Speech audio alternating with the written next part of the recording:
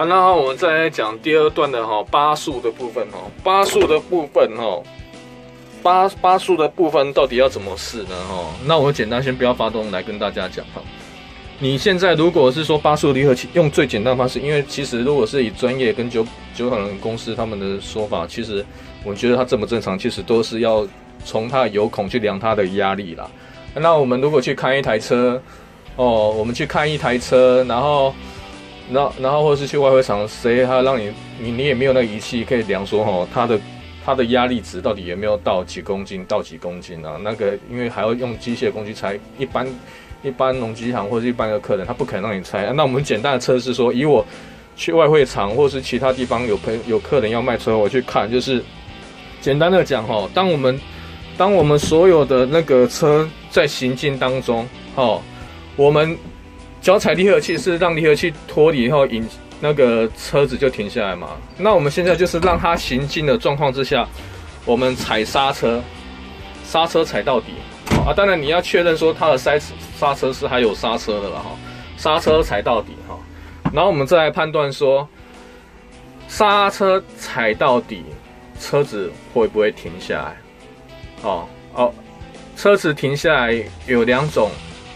一种是引擎引擎还发动着，啊你踩刹车，车子停下来，而且是全部入档哦，那表示它离合器有一点点打滑了。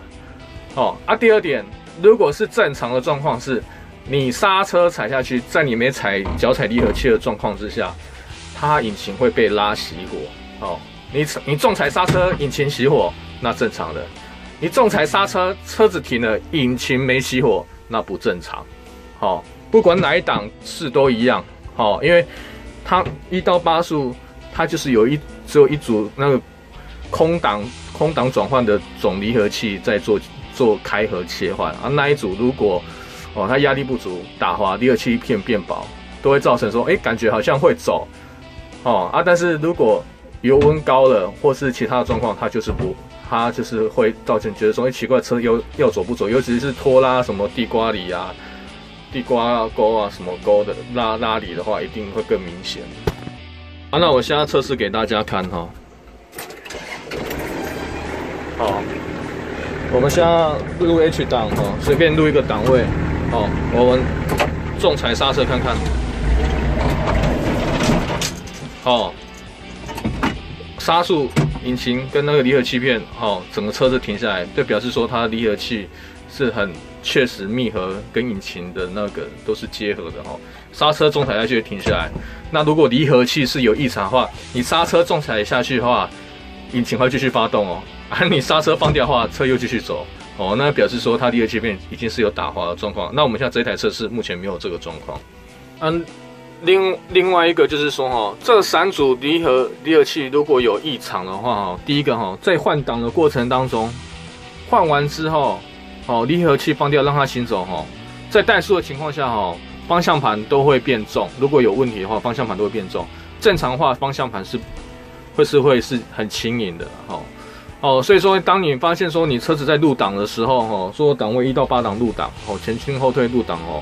哦，PTO PTO 入档之后，你发现你的方向盘是变很重的话，哦，原本没入档很轻，入档之后很重，不好意思哈，啊，它的离合器也是打滑，因为它的整体的压力是施压的啦，因为它那边又不，比如说它要有固定的压力，好，比如说固定二十公斤，可是它一直一直漏泄压泄掉的话。整个总体的方向盘哦，在怠速的情况下就会不正常，会稍微变得很硬。好，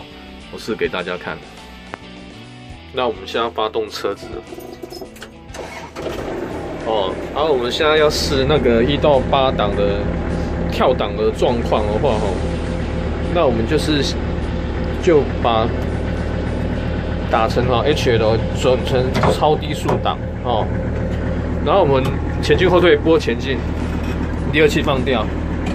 哦，放掉，然后我们就直接一档一档拨，哦，因为很慢的，哦，哦，一档一档拨，哦，有在走了哈，啊，你在拨的过程中，它跳的档，它这样换挡的过程会不会很重大的顿挫？哦，啊，如果很顺的话，哈，哦，像我这样拨起来，哦，哦，都蛮顺的，哦，确实。每个档的衔衔接性都不是很明显啊，但是就是那个速度都蛮不明显，但是你你就觉得说它是很顺畅的，哦，不会有那种很强烈的顿挫，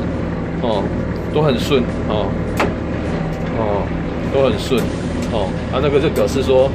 哦，它这个这这个都是，哦，这个八速那组离合器哈都算正常的哈，然后。在换挡的过程中，哈，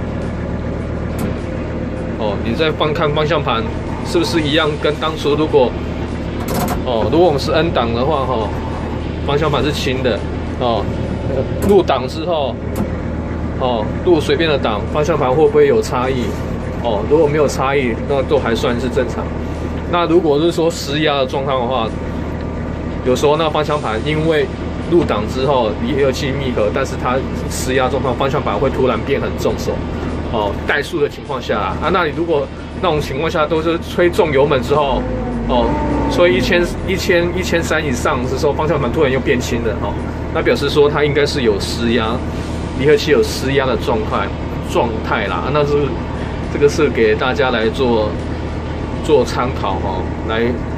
一个简简易简易的。哦，操作哦，你看我现在一到八档换换哈，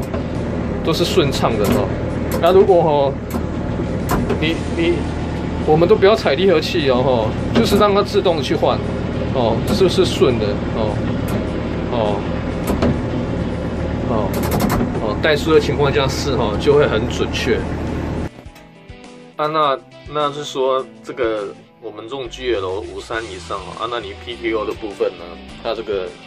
用那个线索哦，去切换它油路的那个，然后开合的离合器的压力哈，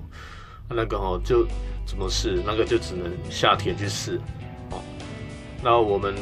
通常就是说，你挂回转离之后，然后下田哦，我们车用慢速档，然后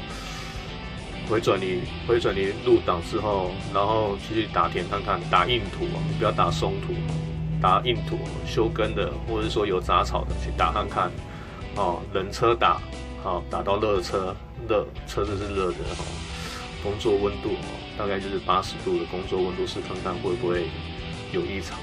那这种 G L 有离合器的车，建议真的都是要试车啊。有时候这种车也很奇怪，冷车开起来都正常，热车的时候一一大堆毛病就会跑出来。那所以说建议说，这种 G L 系列的车，我是说 G M G M 的下次再讲 G L 的车哦，最好有机会就是说。如果朋友的卖要卖最好了，朋友的话就是借一块那个田哦，没没打过，打个二十分钟哦，试就很准了，对啊，打个二十分钟哦，试起来哦，方向盘重不重手，整体开起来感觉不都怪怪的哦。而以 G L 来讲，